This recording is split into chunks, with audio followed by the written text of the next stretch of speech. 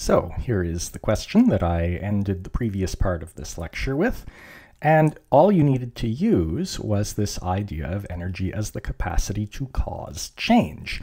If you take that relaxed spring and just release it or leave it, it's just going to sit there doing nothing.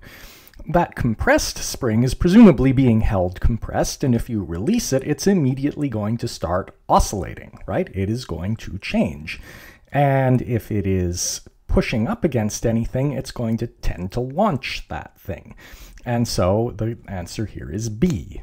The spring, a compressed spring has more energy than a relaxed spring. Similarly, a stretched spring has more energy than a relaxed spring.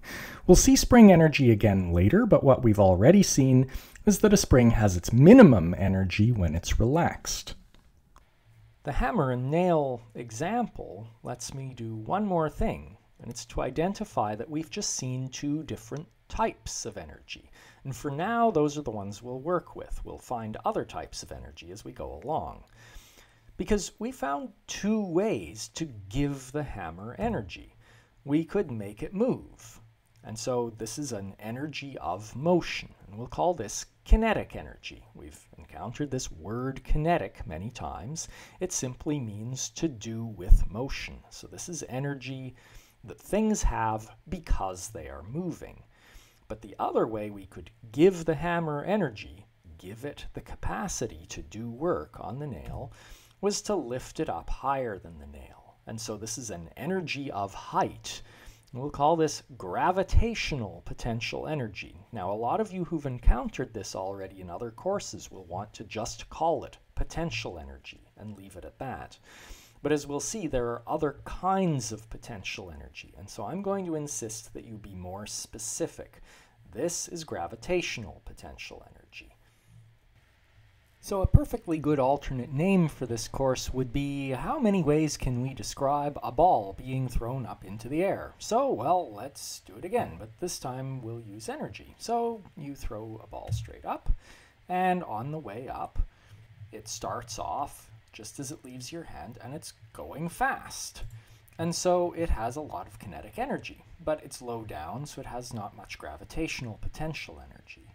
But now, a little later, it's at its maximum height, and so it's momentarily at rest. So at that instant, it has no kinetic energy, but it has gone higher, and so it has more gravitational potential energy. And so what we can say is that on the way up, its kinetic energy was transformed into gravitational potential energy, and we'll write it this way. Now on the way down, that process reverses. Here we are at maximum height again, and so still kinetic energy is zero, and it's got lots of gravitational potential energy. And as it falls downward, it speeds up, so eventually it has lots of kinetic energy, but it's now lower down, had, it has not much gravitational potential energy. And so on the way down, its gravitational potential energy got transformed into kinetic energy. Let's check your understanding. So consider an air puck, and it's on the end of a spring, and everything is horizontal.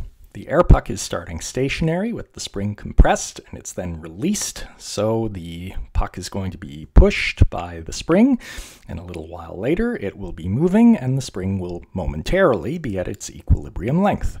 So in this process, did the system's kinetic energy increase or decrease? And did its gravitational potential energy increase or decrease?